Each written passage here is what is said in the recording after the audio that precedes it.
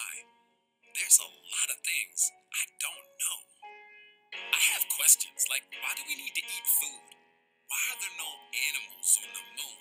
What makes cheetahs fast and turtles slow? Why does my body grow? I don't really know. What's the sun?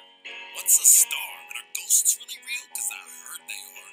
With science, you can uncover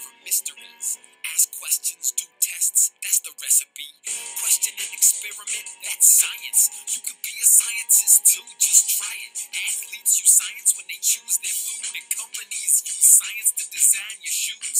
Scientists make inventions, cure disease, explore deep space and deep seas. They know that all things happen for a reason. There's a reason summer is the hot season. There's a reason an airplane flies. There it goes. And that's not magic or miracles. Question and test like scientists do. And if you experiments, then you're a scientist too.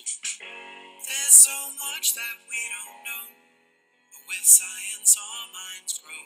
We ask questions, run tests until we find the truth. So much that we don't know. But with science, our minds grow. We ask questions, run tests until we find the yeah. Ask questions, that's the motto. And a scientific method that we follow. Step one, make observations and ask a question. Yeah, that's the first task. Like, does this plant need sunlight to grow? I have a hunch, but I don't really know. Step two is when you make your best guess. That's the hypothesis. And I'm leaning yes. I think this kind of plant will grow the best if it has sunlight. Um, now let's run the test. Step three, run the experiment.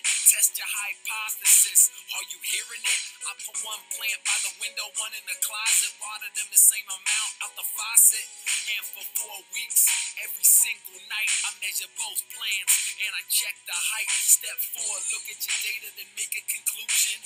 What does it all mean? What you've been doing? I see the plant in the light grew the best, while the plant in the closet is mostly dead. Step five, take what you learned and share it. Write a report for your friends, teacher, or parent. But the scientific method is never done. Come up with more experiments and run another one. Let's go. There's so much that we don't know. But with science, our minds grow. We ask questions, run tests until we find the truth. So much that we don't know. But with science, our minds grow. We ask questions, run tests until we find the truth.